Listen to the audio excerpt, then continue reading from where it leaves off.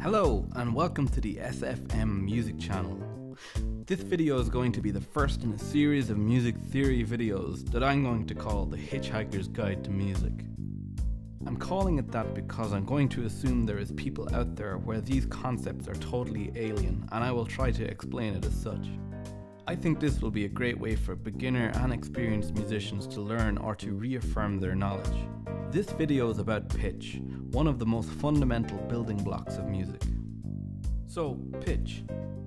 In music, the pitch of a note is a way to describe how high or how low a note is. Most music is made up of notes of specific pitches. The amount of specific pitches there are depends on the type of music you're listening to and where it comes from. Most music I am familiar with has 12 notes, but some have many, many more. But these other types of music is a discussion for another video.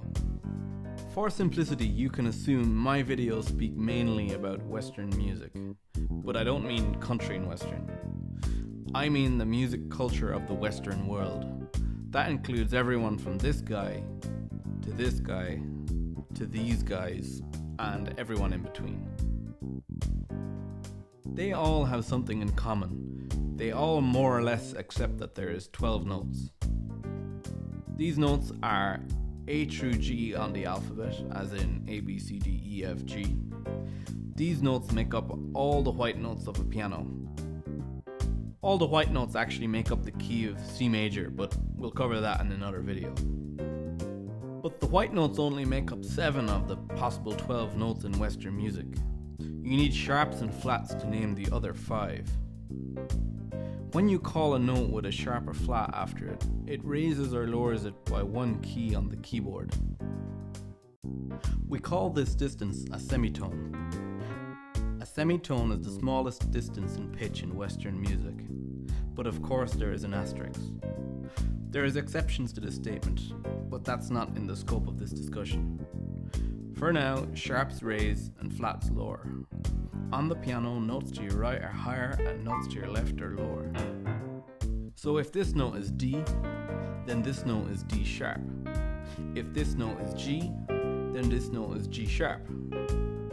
Similarly with flats, this is D and this is D flat, this is G and this is G flat. Common point of confusion with new musicians is that pitches can have more than one name, and their name largely depends on the context. You don't need to worry about that for now, just know that there is more than one name for the same pitch.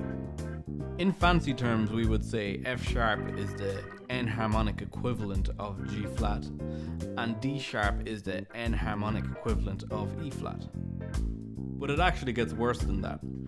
There is also double sharps and double flats. They do exactly what they sound like.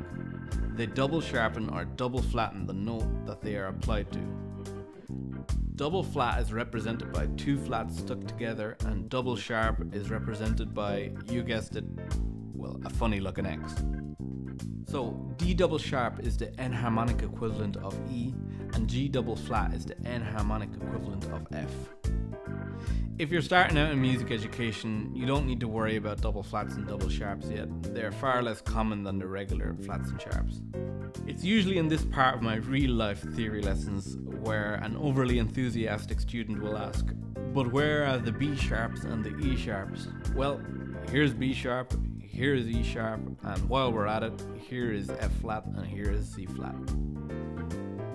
So, thanks for watching, and if you enjoyed the video and you want to continue learning about music, please hit the subscribe and bell button below, and feel free to share and comment.